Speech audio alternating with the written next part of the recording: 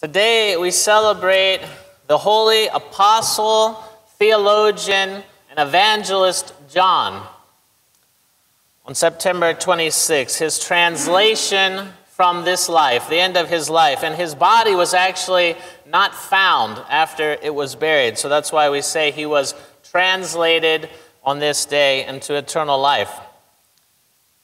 St. John was, according to the flesh, the nephew of Jesus. Jesus was his uncle.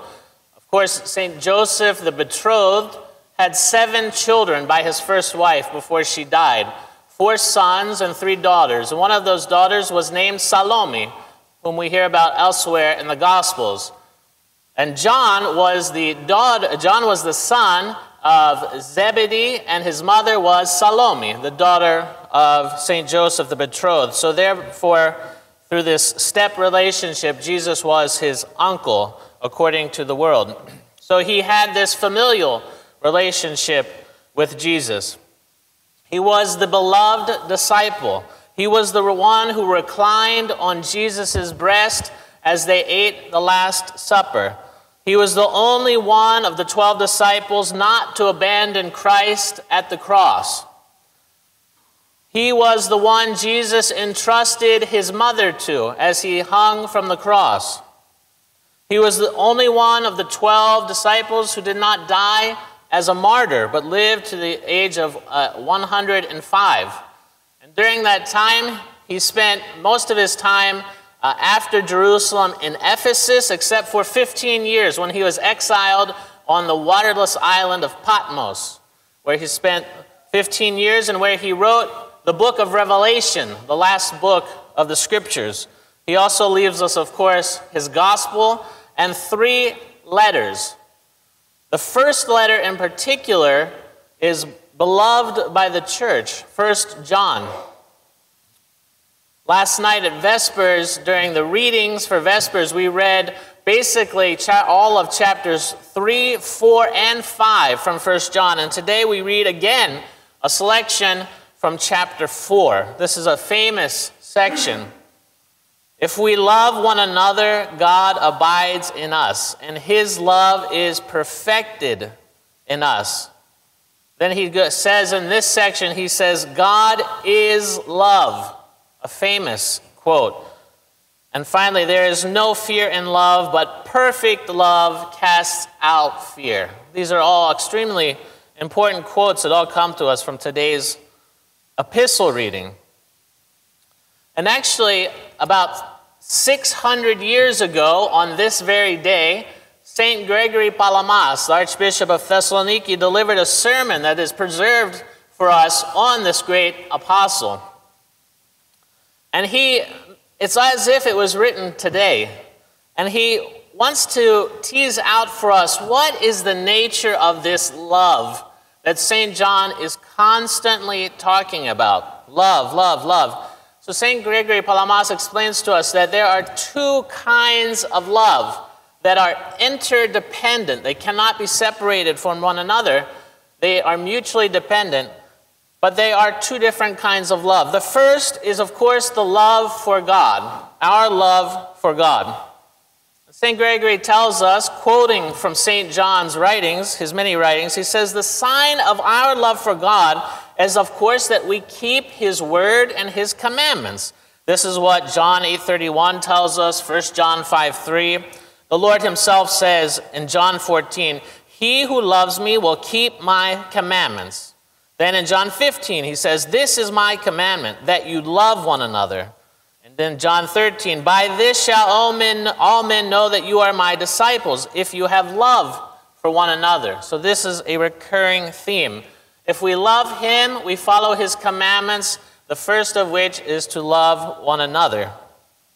And then St. Gregory tells us beautifully that we are called to offer something. We are called to do something. Love is an action verb. But we are imperfect humans, so how do we reconcile this?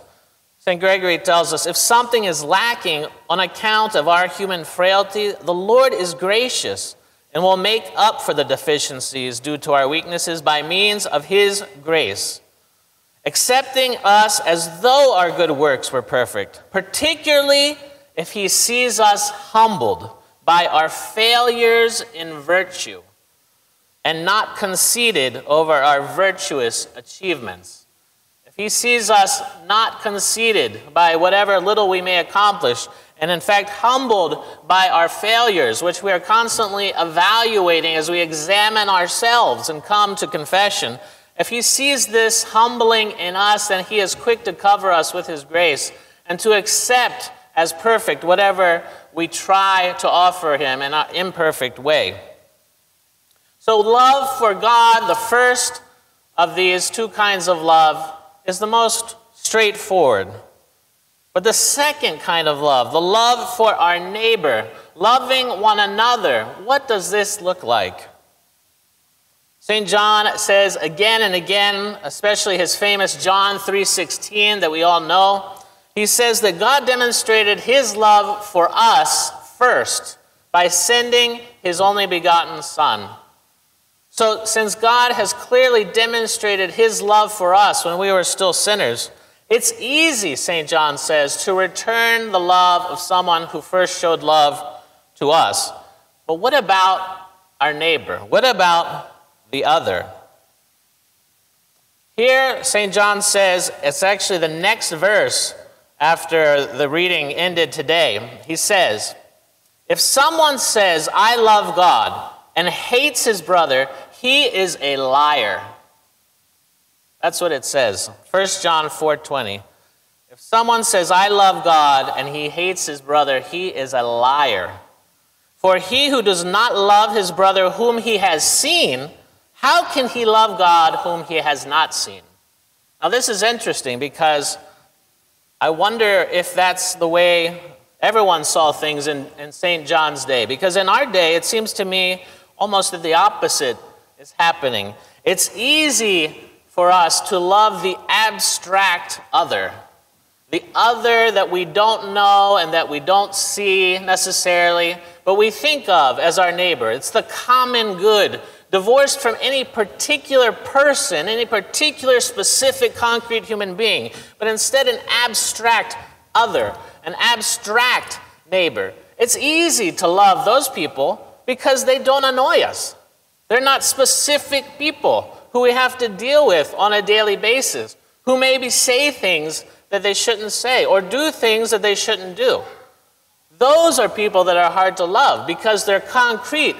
And so St. John is always referring to loving those in the community, in the church, because it forces us to love the other who is right in front of our face who is a specific, frail, imperfect human being, unlike God.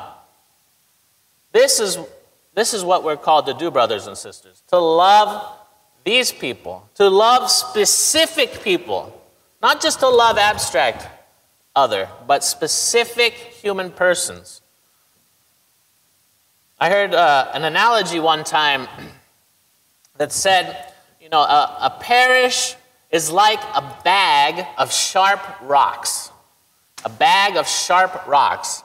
And you take that bag and you shake it and you shake it, and those sharp rocks are hitting each other, smashing against each other within this contained bag. And if you keep doing this over time, when you open the bag and take the rocks out, they will be smoothed. The sharp edges will be blunted. This is what happens in community life. This is what happens within the community of faith, the church.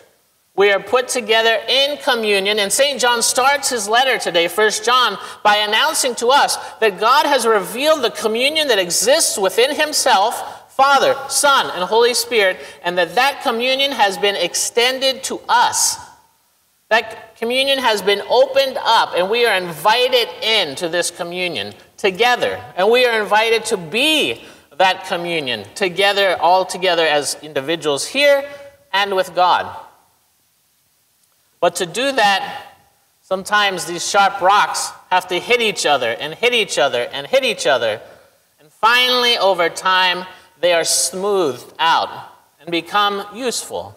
This is what is happening to us in the church as we are in communion with specific concrete human persons who are complicated.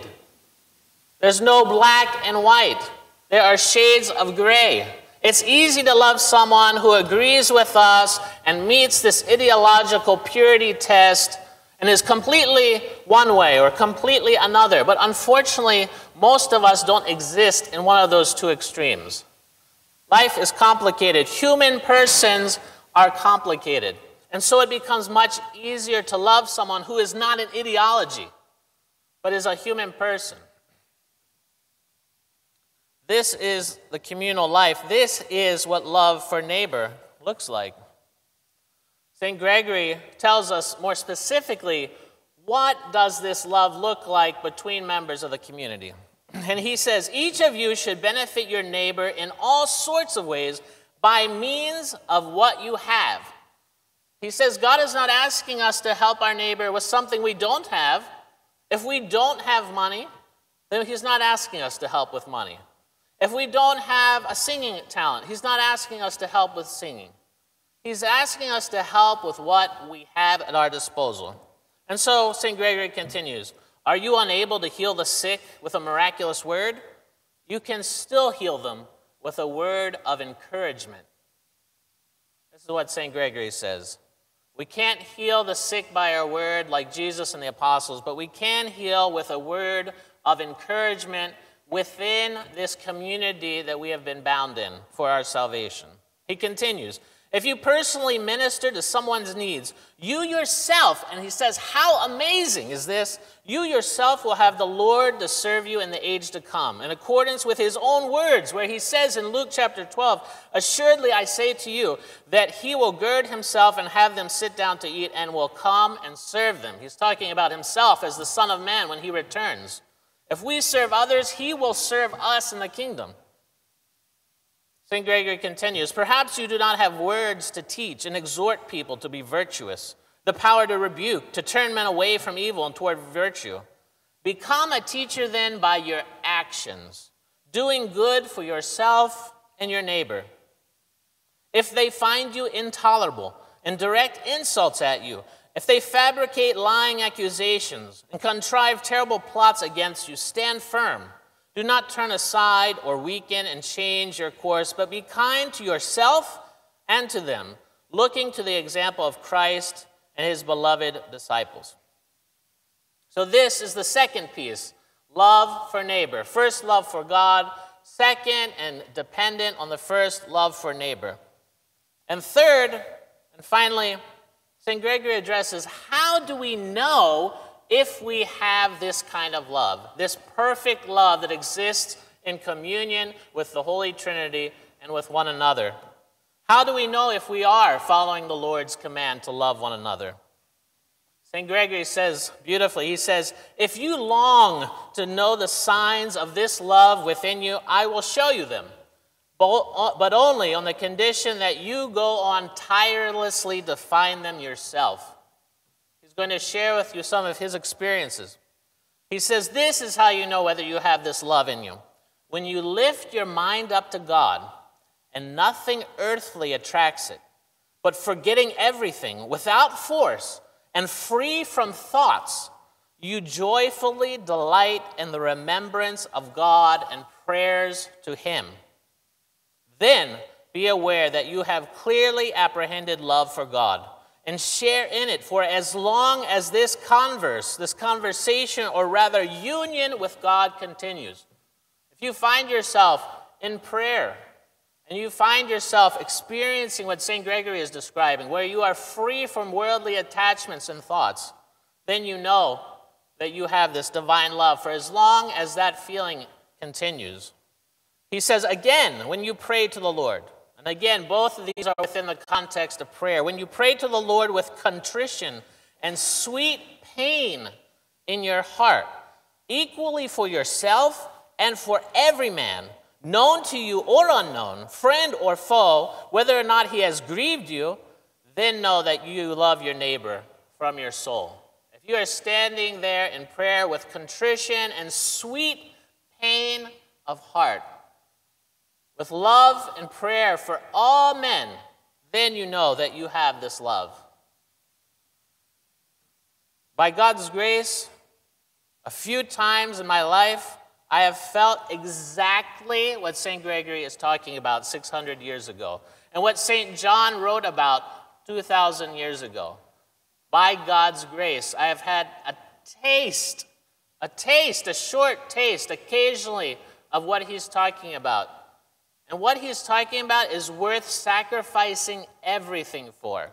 Like the man who sold everything to buy, this, to buy the pearl of great price. It's worth sacrificing everything for, for there's no experience like this when you sit before God and feel in communion with Him and the Holy Trinity. But how do we do this? How do we get that feeling? And how, most importantly, do we hold on to that feeling? St. Gregory says, These dispositions, these feelings will not become yours unless you possess the visible works of love. For if you do not accustom yourself to giving up your own will and do your neighbor's will, how can you endure the things that he brings upon you? If you do not courageously and patiently bear the difficulties caused by men, how will you progress to praying for your enemies, as Christ tells us? So, St. John is calling us to this perfect love of both God and man, but man in a specific sense. Yes, it also includes this abstract sense, praying for the well being of all human persons unknown to us but he specifically includes we must have that same feeling to the very people who aggravate us, to those very people who make up stories about us. These people we must love as well, these people who grieve us.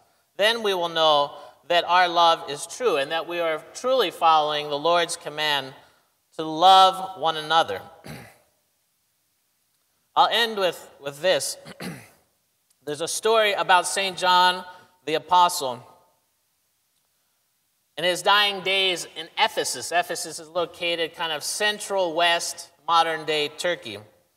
And interestingly, I read there was a, a new discovery not too long ago of some manuscripts, and it, it's, it's church fathers talking about at the end of the third century, so in the 290s, something like this, they're talking, and there's a letter preserved in which they refer, not as reporting something new, but refer in passing to the fact that the original writing of St. John's Gospel, the one that was written by his actual hand, was venerated inside the church of Ephesus at their time in the late 200s. And that people, the scribes who are making copies of St. John's Gospel, would actually travel to Ephesus and get permission to check the copies against the original.